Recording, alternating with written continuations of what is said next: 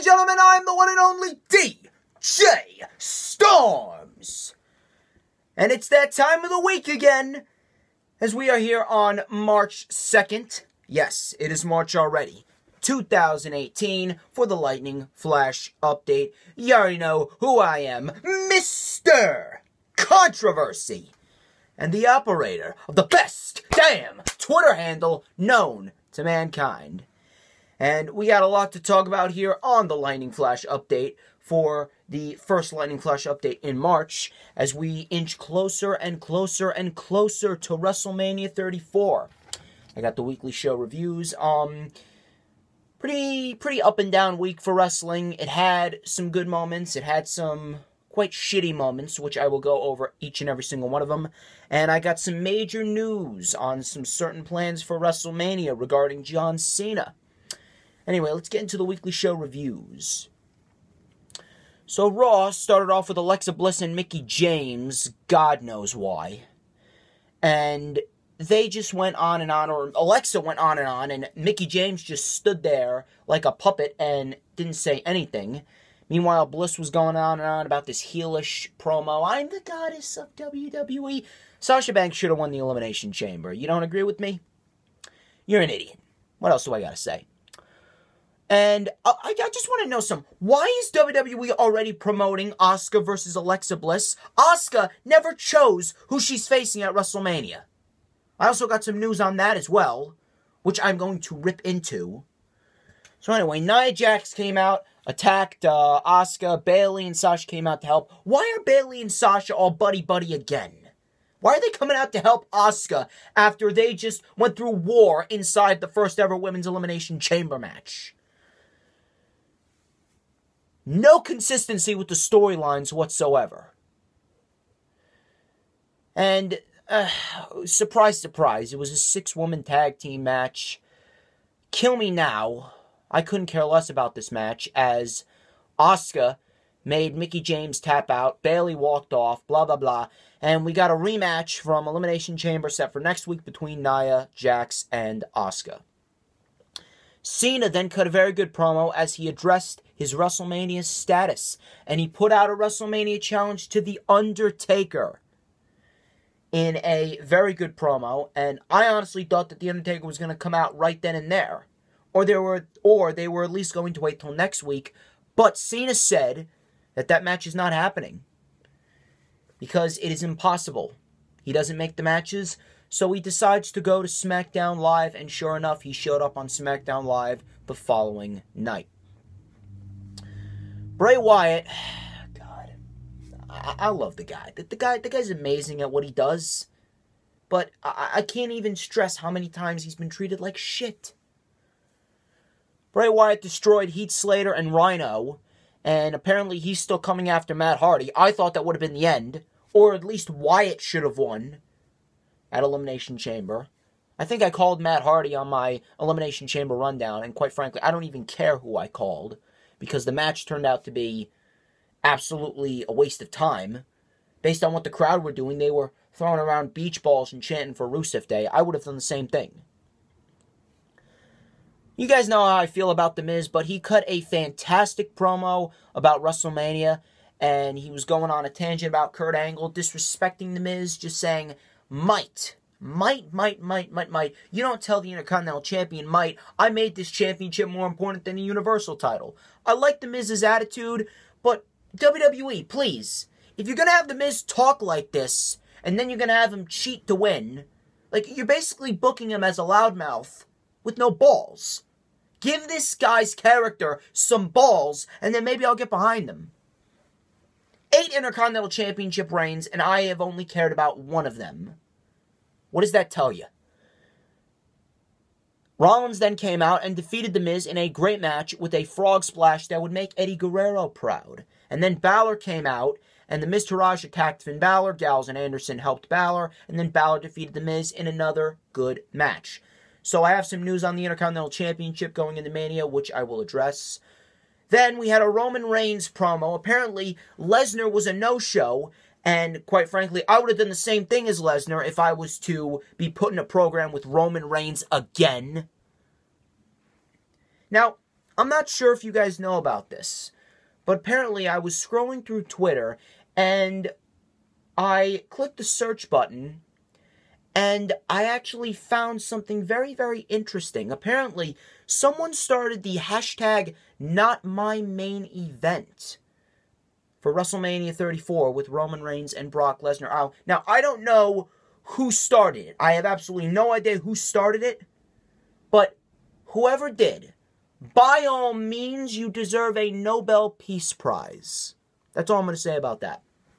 Whoever created that deserves a Nobel Peace Prize. And then WWE goes on a tangent and tries to make Roman Reigns the courageous babyface going into WrestleMania 34. Like, who's who's gonna believe this? It, it, who's gonna believe this other than the five and six year olds who don't know any better, and the women who have Roman Reigns posters plastered all over their bedroom wall? Like, who else is gonna believe it? No one. The majority of the crowd booed him still. There's absolutely nothing, nothing that can get that guy cheered going into WrestleMania 34. And if you think I'm wrong, if you think I'm wrong, I'm going to be sitting right here, nice, nice and pretty, with my Uso snapback, and I'm going to watch as Roman Reigns walks down that long ass aisle at WrestleMania and he's booed. And by God, those boos are going to be the most satisfying thing in the world. And I'm going to sit here once again, the Raw after Mania, and listen to the crowd chant, fuck you, Roman. And it's going to feel like music to my ears. Moving on. We had a decent match between the Bar and Titus Worldwide. Two out of three falls match for the titles. And then the Bar talked about how there's no team left to beat, which is obviously a teaser to insert the revival into the mix. Elias used a fire extinguisher on Braun Strowman. That actually turned out to be useless. I got some news on Braun Strowman as well. Apparently, they're holding back on Braun Strowman because of the Roman Reigns steroid situation. And if Lesnar's a no show at WrestleMania 34, according to the Wrestling Observer newsletter, they're keeping Strowman around to take either Roman's place or Lesnar's place. WrestleMania is falling apart at the scene, man. And then we actually had a decent promo to end the show. Uh, Ronda Rousey, Triple H, Stephanie McMahon, and Kurt Angle. Kurt Angle said he apparently lied and he was on pneumonia. And then Ronda Rousey said, okay, we've addressed everything except for the slap that you gave me. Now, apologize to me if you want to move on, or I'm going to rip your arm out of your socket. And sure enough, the crowd was chanting, rip it out, which I was very pleased at. Steph apologized, and then Triple H punched Kurt Angle right in the face. And apparently, there was a picture of Kurt's face, and it looked like he was constipated. And I laughed my ass off the first time I saw that picture. So it looks like Raw is back to being a two to three highlight show. But regardless, I'm very much liking the way that they're presenting Ronda Rousey, and I am very much looking forward to the match between her, Kurt Angle, Triple H, and Stephanie McMahon come April 8th. On the SmackDown Live, it was actually um, a better show than I thought it was going to be. Cena, uh, Cena started off the show. He said he wanted to be the WWE champion, and then Shane McMahon came out. Daniel Bryan then came out. They went back and forth and Daniel Bryan made AJ Styles versus Cena in the main event of SmackDown Live, in which Cena won. If he won, then he would be added to the WWE Championship match at Fastlane. And sure enough, the crowd was chanting Rusev Day for the entire show. Baron Corbin then defeated Sami Zayn, and it was a decent match, but the crowd, they were chanting Rusev Day. They were doing uh, everything else besides watching the match for the first six, seven minutes of this match. They really gotta get they really gotta get everything together. If Rusev is if Rusev is getting more cheers than the main event talent, then that tells you right there that Rusev should be in the main event scene. But why is he not pushed? Why is he not pushed? Because it was not in WWE's plans. If you are not in WWE's plans, you could pretty much consider yourself done. done until WWE feels like it's right to use you. By the way, I'm going off what I see on television. And sure enough, what I see on television is ringing through. And it's ringing true. Ziggler then attacked Owens with a nasty super kick right to the back of the neck. It looked like it legitimately hurt. Corbin then won the match with the end of days, and then Ziggler attacked Owens and Corbin. Daniel Bryan then went home, and then Shane McMahon. Shane McMahon then uh, had a little conversation with Kevin Owens and Sami Zayn backstage, and it ended with Sami Zayn saying these exact words, and I quote, It never ends. It never ends with this guy. And um, I tweeted out that specific quote, and I said Roman Reigns in a nutshell. And you can't tell me any different. It never ends. It never ends with this guy.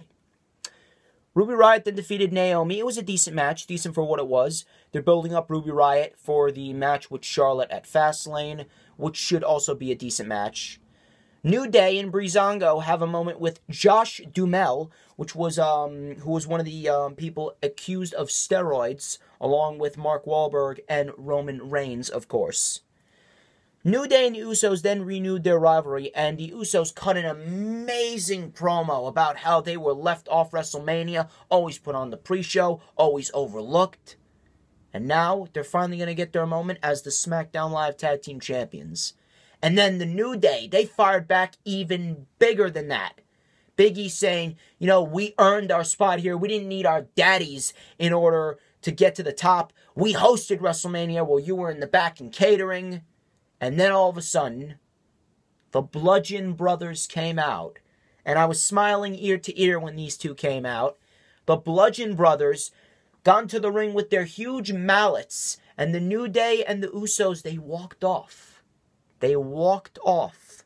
So, if my calculations are correct at this rate, the Bludgeon Brothers should, they should be added to the tag team title match at Fastlane. Orton and Roode had a promo, and I like what they did with Orton, saying that the United States title is the only title Orton has never held, and it just so happens Bobby Roode is the one holding the championship.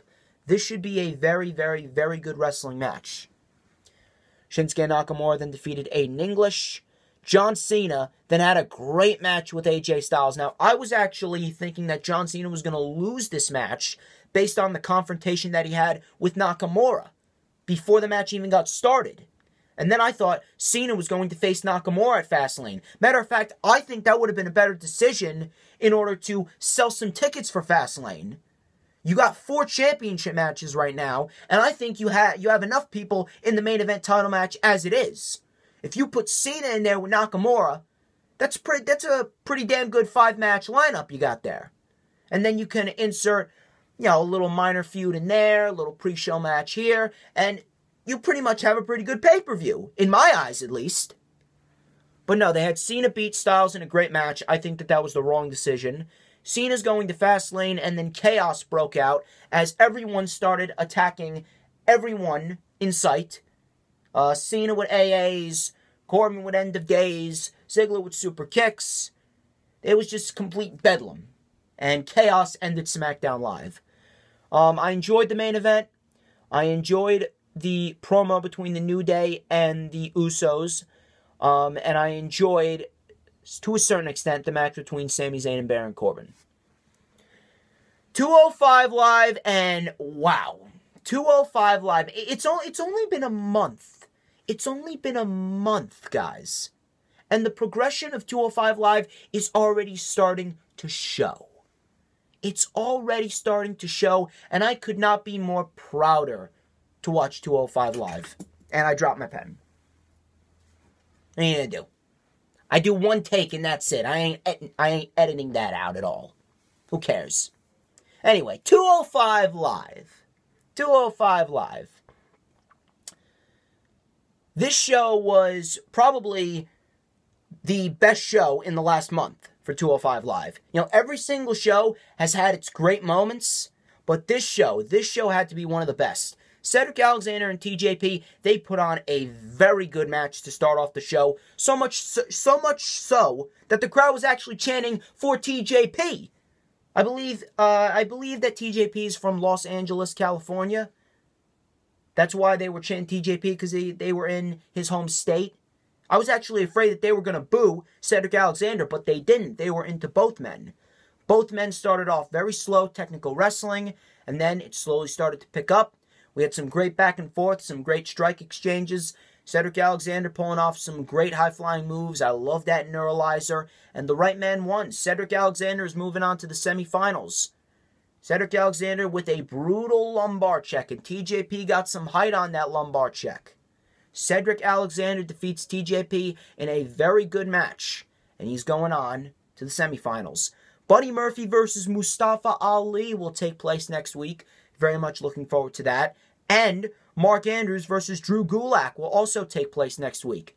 Now, I know for a fact Mustafa Ali is advancing, because Mustafa Ali, as I keep on saying, is the AJ Styles of 205 Live.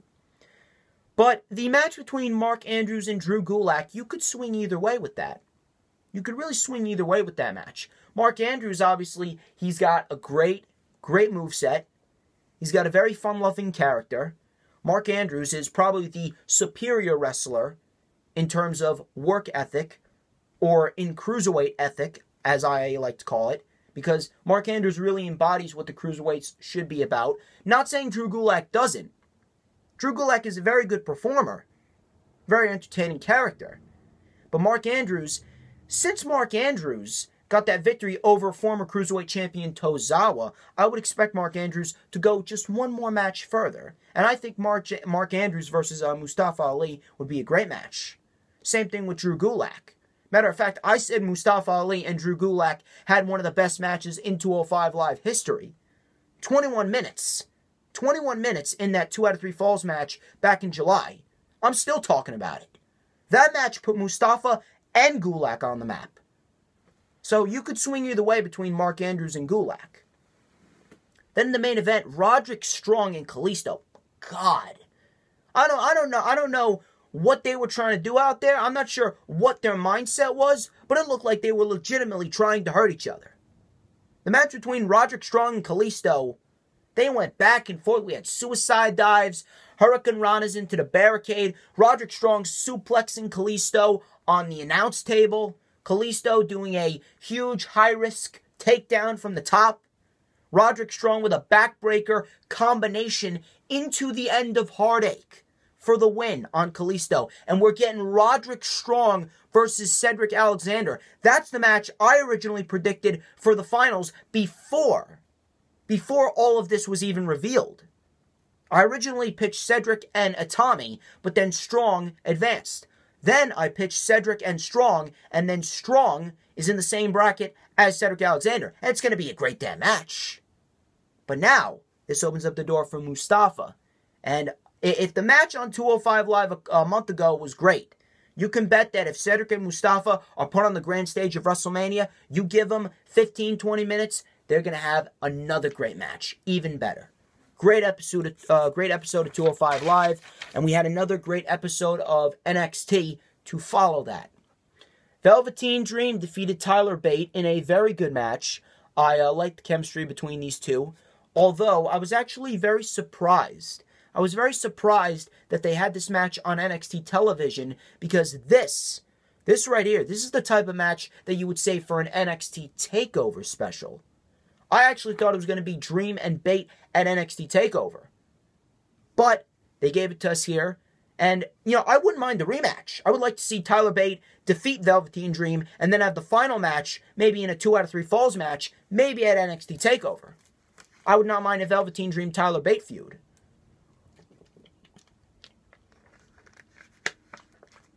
Velveteen Dream won. Purple Rainmaker, very good match. Adam Cole then defeated Cezar Bononi, and he actually fooled Cezar Bononi. He said, you know, this is the NXT Breakout Star of the Year. Give Cezar Bononi a round of applause. And then he said he wanted Bononi in the Undisputed Era, but Adam Cole did a complete 180 and said, hell no. Hit a Shining Wizard to the back. Adam Cole defeats Cezar Bononi. Next week, we got TM61 versus AOP in the first round of the Dusty Rhodes Tag Team Classic. Should be a very good match. Shayna Baszler then defeated Kairi Sane. I actually thought Kairi Sane was going to win this because I thought they were going to set up for Kairi Sane versus Ember Moon at NXT TakeOver New Orleans, which would be a very good match.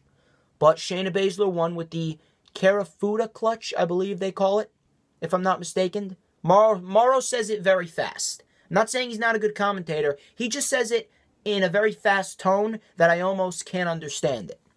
But the Kirifuda clutch, I believe it is, and Kairi Sane tapped out.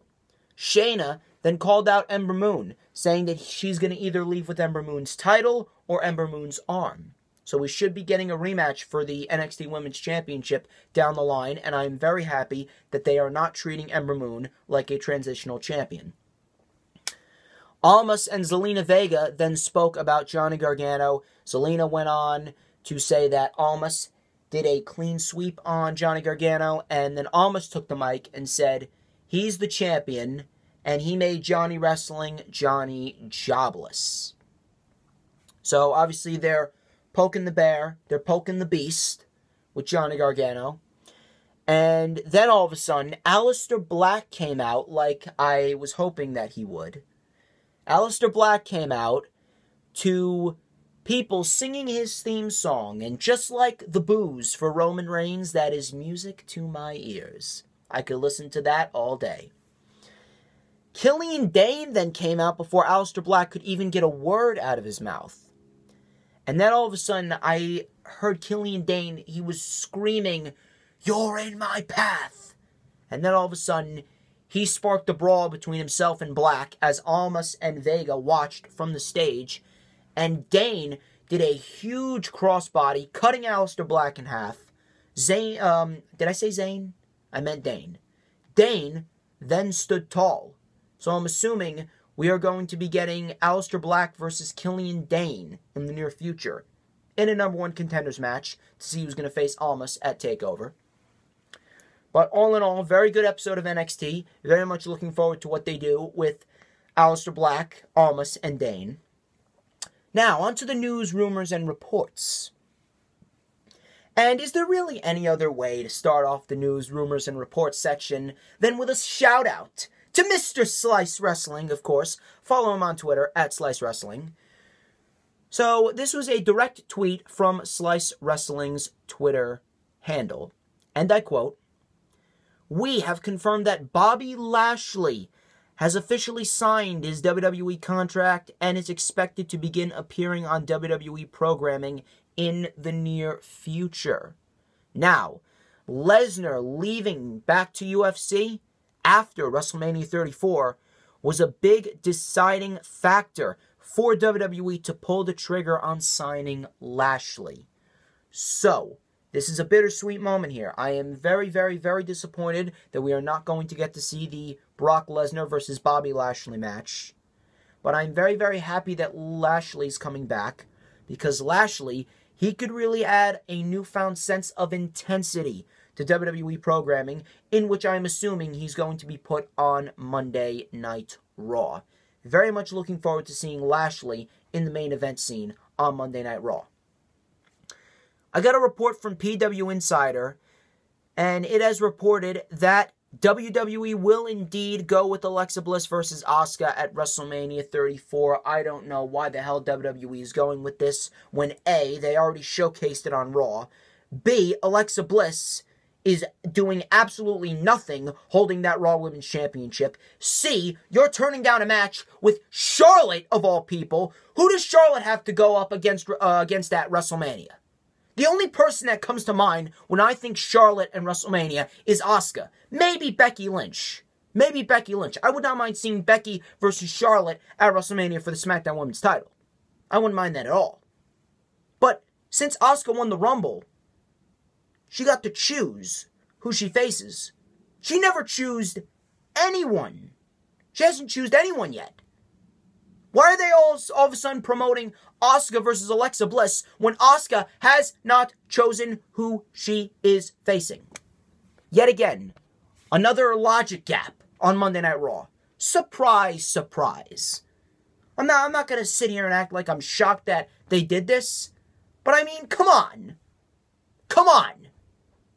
Charlotte versus Asuka is the money match for the women on WrestleMania's card. No one's going to care about Anaya Jax versus Alexa Bliss. If anything, it should have been Bayley and Sasha, and I do have some news on that as well. Because according to Wrestling Observer Radio, WWE officials are um, currently planning the highly anticipated match of Bayley versus Sasha Banks at WrestleMania 34, but it would have it would have had much more intensity and would have it would have had much much much more interest in it if it had the Raw Women's Championship. Because Sasha would have gone full-fledged heel, Bayley would be the underdog babyface, and Sasha Banks could get what she rightfully deserves, a WrestleMania moment and a Raw Women's Championship reign that is over a month. You're out here telling me that officials are planning Bayley versus Sasha Banks, which is fine. I'm all for it. But why doesn't it have the Raw Women's Championship?